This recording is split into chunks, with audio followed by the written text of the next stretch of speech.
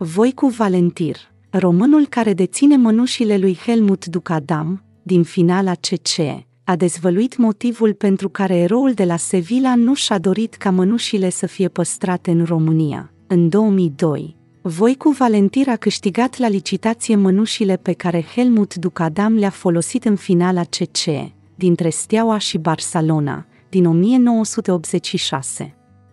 În meciul respectiv, legendarul portar a apărat patru lovituri de departajare, reușind să intre în cartea recordurilor. În prezent, este stabilit în Canada, a plătit 3000 de dolari în schimbul prețioaselor mănuși, pentru o scurtă perioadă. În urmă cu un an, Voicu Valentir a adus, în România, mănușile lui Ducadam.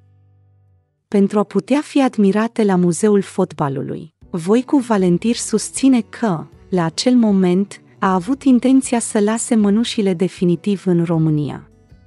Numai că a fost oprit de Ducadam, deoarece, în opinia sa, România nu era cel mai sigur loc în care aceste bijuterii să fie păstrate. Când am adus mănușile la muzeu, Muzeul Fotbalului, chiar l-am întrebat pe Helmut, uite, mănușile astea e păcat să stea în Canada, pentru că altfel se bucură cei din România să vadă astfel de obiecte.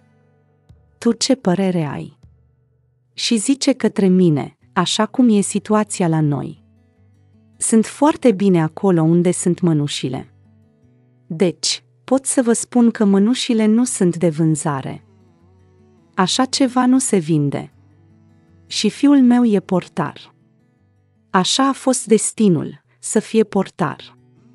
Chiar a doua zi, după ce a murit Helmut, fiul meu a fost ales cel mai bun portar din vreo 75 de echipe din New England, deci, nu, mănușile, când nu voi mai fi eu, vor ajunge la fiul meu, Marco, cu instrucția să le țină cât se poate de mult, a declarat voi cu Valentir.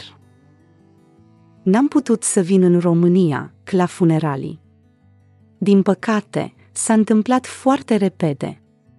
Noi îl așteptam aici și chiar marți am vorbit cu el la telefon. Găsise bilete, sper că nu le-a cumpărat. Trebuia să vină la noi, la un pescuit. De ani de zile tot îl așteptam cu familia. Teribil.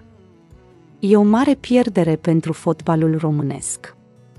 Dacă ne gândim bine, e singura persoană care a obținut un trofeu palpabil de mare anvergură pentru fotbal.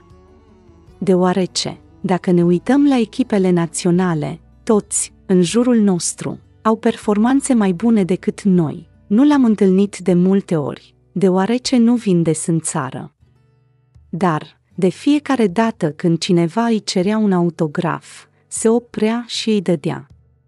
Când cineva își dorea să dea mâna cu el, îi o întindea. A împărtășit persoana lui cu oricine. Trebuie ca cei din țară să se mobilize, iar acest nume să circule încă o generație, a mai spus voi cu Valentir. Vă mulțumesc că ați privit până la final și vă rog să vă abonați la canal pentru a vedea mai multe știri de acest gen.